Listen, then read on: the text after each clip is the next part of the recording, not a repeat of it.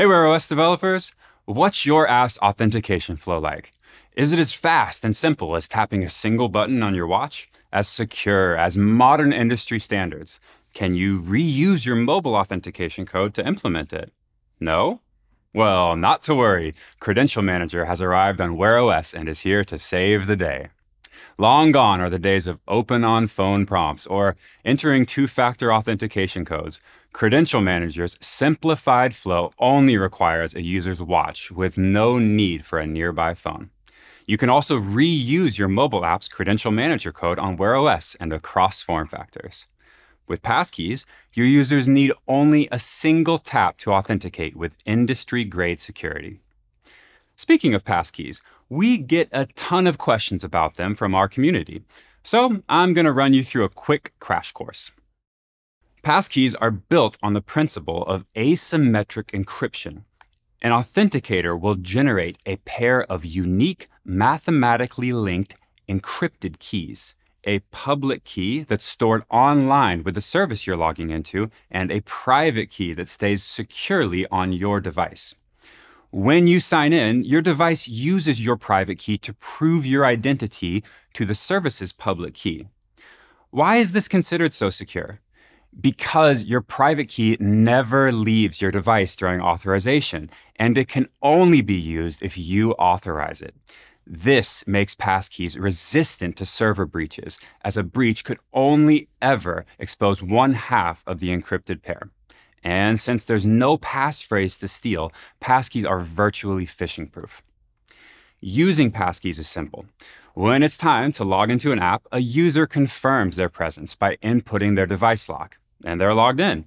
Users don't need to remember any complex passphrases and don't need any other devices around. Also, passkeys work across devices. All of this is why passkeys are the future. They are simpler, faster, and more secure than other authentication methods. Now, on to our implementation. Let's start with the basics, shall we?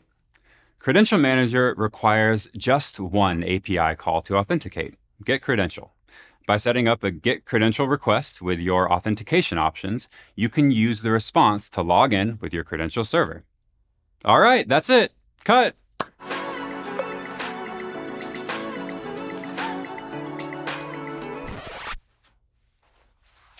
No? Still filming?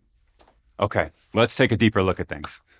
First things first, let's get your user's credentials synced from their other devices to their watch.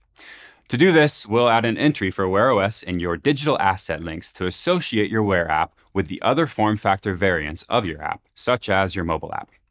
As always, be sure to precisely fill out the asset link entry. You'll need to copy your Gradle file's application ID for the asset package name and run a signing report in Android Studio to obtain your application's SHA-256 code. As the unique cryptographic hash of your application's digital signature, this is used by the FIDO backend to validate authentication attempts. So take care to store this carefully as unintended use can compromise your application.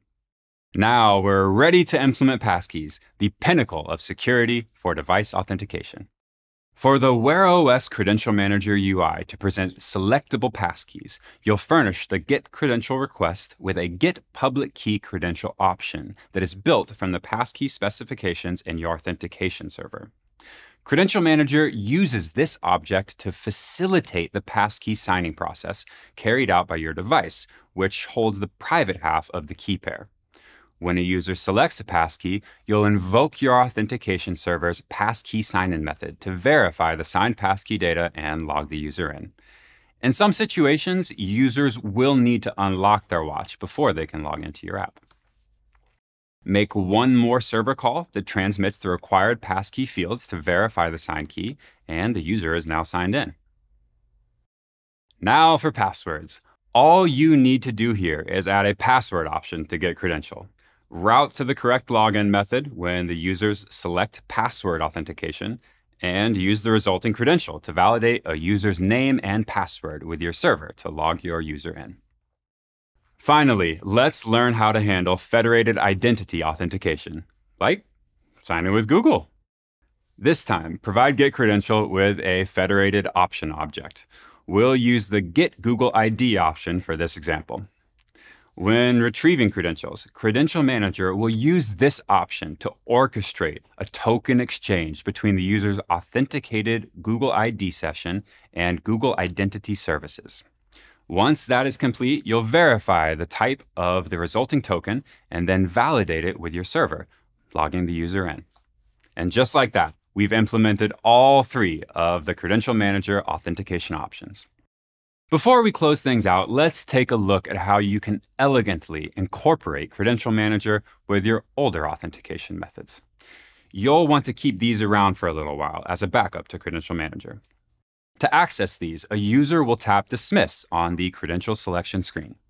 This action will trigger a Get Credential cancellation exception for you to use as a condition to navigate to your legacy authentication screen. You can also navigate to your legacy flow if Credential Manager authentication fails for some reason.